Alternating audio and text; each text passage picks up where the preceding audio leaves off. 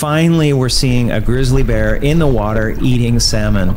So, full grown grizzly bears can eat 100 pounds of salmon per day or even more because they have to build up their fat reserves in preparation for their winter hibernation. And this grizzly bear is a mother and she has two cubs who are hidden in the tall grass behind her.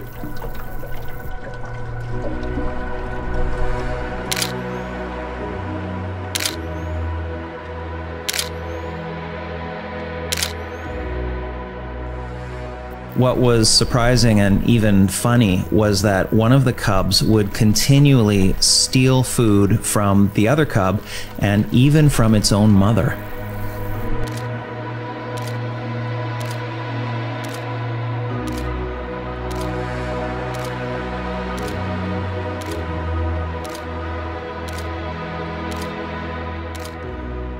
Wildlife photography is not easy. Learning the skills to do it right takes time and personal investment, and you typically only get one really good photo opportunity from an entire multi day trip.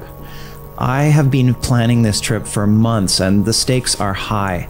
It took 13 hours of driving to get here, mostly on backcountry dirt roads, which required a week off of work. I've been training and practicing my photography skills for years, but I'm in a moving boat, hand holding the camera. I've been visualizing the perfect shot of a full grown bear facing the camera and running. I want a photo that is tack sharp, correctly exposed, and with a powerful composition. Do I have what it takes to get the shot I want when and if the opportunity presents itself? And suddenly, I had my opportunity. It was my moment of truth. And within two seconds, the opportunity was gone. The window closed. But I got the shots.